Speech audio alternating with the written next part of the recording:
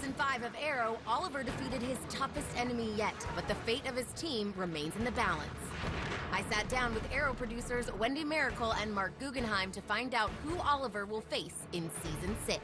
We're going to see a group of them for sure. There's going to be a team of villains this season, but one of the biggest ones we're going to see, and we'll see her from the beginning, is Black Siren. And we're very excited to have Katie back on the show.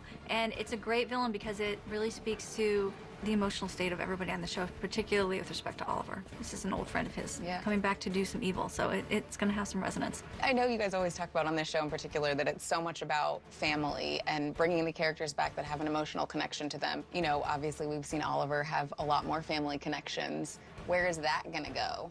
In terms of family, I would say we saw William at the end of last season, and Oliver's reconnected with his son. So Oliver will be exploring fatherhood a little bit in season six.